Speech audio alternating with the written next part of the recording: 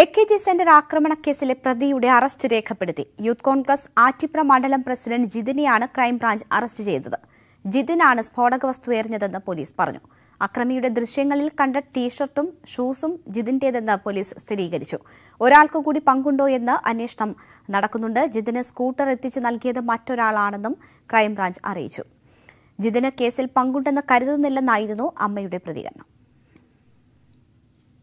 ഇന്ന് അവൻ രാവിലെ വന്ന് റോഡിൽ നിന്ന് കൊച്ചിനെ സ്കൂൾ ബസ് കൊച്ചിവിടെയാണ് നിന്ന മുമ്പ്. അതുകൊണ്ട് അവൻ വന്ന് കൊച്ചിനെ അവിടെ ആക്കിയിട്ട് അവൻ അങ്ങ് ഇറങ്ങി പോവുകയും ചെയ്തു അല്ലാതെ ഇപ്പം നിങ്ങളൊന്ന് പറഞ്ഞപ്പോഴാണ് ഞങ്ങൾ അറിയണത് അവൻ ഇങ്ങനെ പോലീസ് പിടിച്ചൊന്നും കസ്റ്റഡിയിലായെന്ന്. ഇത് ചുമ്മാ വെറുതെ അവൻ അങ്ങനെയൊന്നും പോയി കാണുമെന്നുള്ള ഒരു പ്രതീക്ഷയും എനിക്കെന്തായാലും ഇല്ല. അങ്ങനെ ഉമേഷ് ബാലകൃഷ്ണനുണ്ട്. വിവരങ്ങളുമായി ഉമേഷ് എന്തായാലും അറസ്റ്റ് രേഖപ്പെടുത്തിയിരിക്കുന്നു. ഒരാളുടെ കൂടി പിന്തുണ ജിത്തിന് ലഭിച്ചിട്ടുണ്ട് എന്ന് പോലീസ് സംശയിക്കുന്നുണ്ട്. ആ അറസ്റ്റ് ഉടൻ ഉണ്ടാകും നിങ്ങളുടെ സ്വപ്നങ്ങൾ സാക്ഷാത്കരിക്കാൻ ബാങ്കുകാരൊന്നും നിങ്ങൾക്ക് ബിസിനസ് ലോൺ തരുന്നില്ലേ? ബിസിനസ് ലോൺ ലഭിക്കാനുള്ള സീക്രട്സ് എന്താണെന്ന് നിങ്ങൾക്ക് മനസ്സിലാക്കണോ? ഇംഗ്ലീഷ് ഈ ഫ്രീഡം ആപ്പ് ഇപ്പോൾ തന്നെ ഡൗൺലോഡ് ചെയ്യൂ. എന്നാണോ പ്രതീക്ഷ?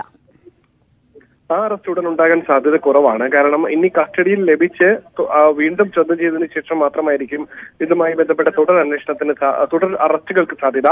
ഇന്ന് രാവിലെ എട്ടരയോടുകൂടിയാണ് ജിതിനെ വീട്ടിലെത്തി ക്രൈംബ്രാഞ്ച് കസ്റ്റഡിയിൽ എടുത്തത് ഏകദേശം രണ്ടു മണിയോടുകൂടി അറസ്റ്റ് രേഖപ്പെടുത്തി. ഈ കുറ്റം ജിതിൻ സമ്മതിച്ചു എന്നാണ് ക്രൈംബ്രാഞ്ച് വൃത്തങ്ങൾ പറയുന്നത്. അതായത് എ കെ ജി സെന്ററിലേക്ക് താൻ തന്നെയാണ് സ്ഫോടക വസ്തു എറിഞ്ഞത് എന്ന് ജിതിൻ സമ്മതിച്ചു എന്നാണ് പറയുന്നത്.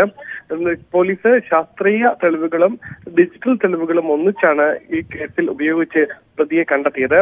ഈ നേരത്തെ ഫോൺ രേഖകൾ പരിശോധിച്ചപ്പോൾ ജിതിന്റെ ഫോൺ രേഖ ഈ സംഭവം നടക്കുന്നതിന് മുൻപ് ഒന്നിലധികം തവണ എ കെ ജി സെന്ററിന് സമീപത്ത് ലഭിച്ച് കണ്ട് ലഭിച്ചിരുന്നു. അതിന്റെ അടിസ്ഥാനത്തിലാണ് കുറച്ചുപേരെ ഷോർട്ട് ലിസ്റ്റ് ചെയ്ത് അവരെ ചോദ്യം ചെയ്യാൻ വിളിപ്പിച്ചിരുന്നു. പക്ഷേ ചോദ്യം ചെയ്യൽ എത്തിയപ്പോൾ ജിതിൻ തന്റെ മൊബൈലിലെ എല്ലാ ഡാറ്റയും പൂർണമായി ഡിലീറ്റ് ചെയ്ത് ശേഷം ഫോർമാറ്റ് ചെയ്താണ് എത്തിയത്. അപ്പോൾ തന്നെ പോലീസിന് സംശയം തോന്നിയിരുന്നു.